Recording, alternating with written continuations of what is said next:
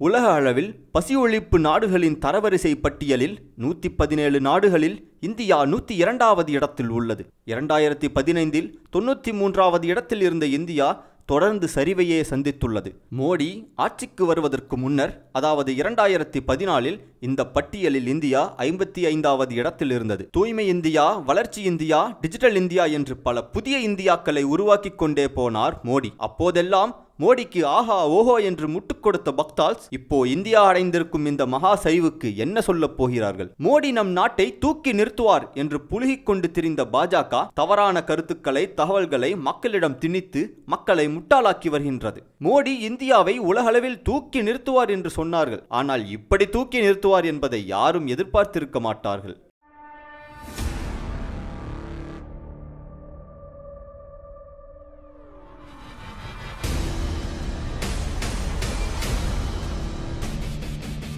உலக அளவில் பசிக்கொடுமை ஒழிப்பு நடவடிக்கைகள் அடிப்படையில் இந்தியா நிலைமை பாகிஸ்தான் இலங்கை வங்கதேசம் நேபாளம் போன்ற அண்டை நாடுகளை விட மிகவும் மோசமான நிலை அடைந்துள்ளது. எல்லாவற்றிற்கும் பாகிஸ்தானை குறை சொல்லும் மோடி அரசை ஒப்பிடும்போது பசி ஒழிப்பில் பாகிஸ்தான் மேற்கொள்ளும் முயற்சிகளும் அதனால் அடைந்திருக்கும் இடத்தையும் பார்க்கும்போது அந்நாடு எவ்வளவோ பரவாயில்லை என்றே தோன்றும். இரண்டாயிரத்தி பதினைந்தில் தொண்ணூற்றி மூன்றாவது இடத்தில் இருந்த இந்தியா இரண்டாயிரத்தி பதினாறில் தொண்ணூற்றி ஏழாவது இடத்திலும் இரண்டாயிரத்தி பதினேழில் நூறாவது இடத்திலும் இரண்டாயிரத்தி பதினெட்டில் நூற்றி மூன்றாவது இடத்திலும் இரண்டாயிரத்தி பத்தொம்போதில் நூற்றி இரண்டாவது இடத்திலும் வந்து தொடர்ந்து சரிவையே சந்தித்துள்ளது. இரண்டாயிரத்தி பதினான்காம் ஆண்டு மத்தியில் ஆட்சி அமைத்ததிலிருந்தே நாட்டை தொடர்ச்சியாக வறுமையை நோக்கி கொண்டு சென்றுள்ளது பாஜக. தெற்கு ஆசிய நாடுகளிலேயே நூறு இடங்களுக்கு கீழ் உள்ள ஒரே நாடு இந்தியாதான் என்ற பெயரையும் வாங்கி கொடுத்துள்ளது பாஜக. அது மட்டுமின்றி இந்தியாவில் குழந்தைகள் இறப்பு விகிதம் இருபது புள்ளி எட்டு சதவீதம். இந்த பட்டியலில் கூட இந்தியா மற்ற நாடுகளை விடவும் அதிகம் என்பது வருத்தத்திற்குடையது.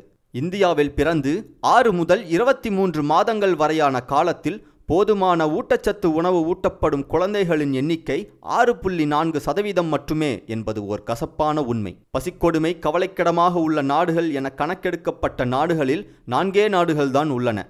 அதில் இந்தியா முப்பது புள்ளி மூன்று புள்ளிகள் பெற்று தீவிர பசிக்கொடுமை கொண்ட நாடுகளில் ஒன்றாக உள்ளது. பொருளாதார வளர்ச்சி மந்த நிலையில் இருப்பதாக சொல்லும்போது கூட அது அந்த அளவு நம்மை பாதிக்கவில்லை. காரணம் அதில் பெரிய பெரிய கார்ப்பரேட்டுகள் சம்பந்தப்பட்டிருப்பதால். கார்ப்பரேட்டுகள் பாதிக்கப்படுகிறார்கள் என்றதும் அதற்கு தடையாக இருந்த சட்டங்கள் வரிகளை எல்லாம் குறைத்து சலுகைகள் கொடுத்து கடன் கொடுத்து அதை சரி செய்ய முயற்சி எடுத்தது பாஜக அரசு. இது பொருளாதாரம் சம்பந்தப்பட்டதல்ல வாழ்வாதாரம் சம்பந்தப்பட்டது. தனி ஒரு மனிதனுக்கு உணவு இல்லையெனில் ஜகத்தினை அழித்திடுவோம் என்றான் பாரதி. ஆனால் இங்கு ஒரு நாடே பசிக்கொடுமையால் செத்து மடிகிறது. இதற்கெல்லாம் தகுதியற்ற பிரதமரையும் கையாளாகாத பாஜகவின் ஆட்சியை கொண்டிருப்பதே காரணம். நம்ம பக்தால்ஸ் இதை பற்றியெல்லாம் பேச மாட்டாங்க. இன்ஸ்டாகிராமில் அதிக நபர்களால் பின்தொடரப்படும் உலகத் தலைவர் என்கின்ற இடத்தை கைப்பற்றி இருக்கிறார் மோடி. இன்ஸ்டாகிராமில் மோடியின் பக்கத்தை மூன்று கோடி பேர் பின்தொடர்கின்றனர். தற்போதைய அமெரிக்க அதிபரான ட்ரம்ப் மற்றும் முன்னாள் அதிபரான பராக் ஒபாமா ஆகியோரை பின்னுக்கு தள்ளி பிரதமர் மோடி இந்த இடத்தை பிடித்திருக்கிறார் என்ற தேவையில்லாத பிடுங்கிக் கொண்டிருப்பார்கள் பக்தால்ஸ். பலவிதமான பிரதமரை பார்த்திருக்கிறது இந்தியா. ஆனால் மக்கள் ஒரு பக்கம் தீவிர பசிக்கொடுமையால் வாடிக்கொண்டிருக்கிறார்கள் பசிக்கொடுமையால் பச்சிலம் குழந்தைகள் இறந்து கொண்டிருக்கின்றன. நாடு முழுவதும் பல கோடி இளைஞர்கள் வேலை இல்லாமலும் இரண்டு கோடி இளைஞர்கள் வேலை இழக்கும் சூழலிலும் உள்ளனர்.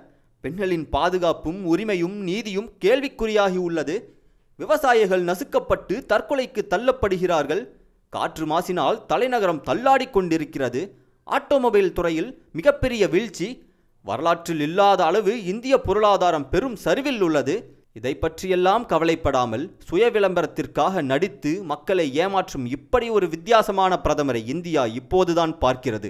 இந்தியாவை முன்னிறுத்தாமல் எல்லாவற்றிற்கும் மோடியை முன்னிறுத்துவது நாட்டின் வளர்ச்சியால் புகழை அடையாமல் ஒரு கூட்டத்தை வைத்துக்கொண்டு மோடி புகழ் பாட வைப்பது வளர்ச்சி வளர்ச்சி என்று சொன்னதெல்லாம் நாட்டிற்காக அல்ல அது மோடிக்கு தான் போல. எந்த ஒரு நாட்டில் அரசனின் புகழ் ஓங்கி இருக்கிறதோ அந்த நாடு நலிவடைந்து இருக்கிறது என்று அர்த்தம் என்று கிரேக்க பழமொழி ஒன்று உண்டு. நலிவடைந்து கிடக்கும் நாட்டை பற்றி மக்கள் தெரிந்து கொள்ளக்கூடாது என்பதற்காக அரசன் அப்படி அரசன் இப்படி வளர்ச்சி என்று பொய்யான தகவல்களை பரப்பி அரசனை புகழை ஓங்கி ஒழிக்க செய்வார்களாம். அப்போதுதான் நலிவடைந்து இருக்கும் நாட்டை பற்றி மக்கள் தெரிந்து கொள்ள வாய்ப்பே கிடைக்காதாம். அந்த பழமொழி இந்தியாவுக்கு நச்சுன்னு பொருந்ததுல முடிவு உங்கள் கையில்தான் மக்களே.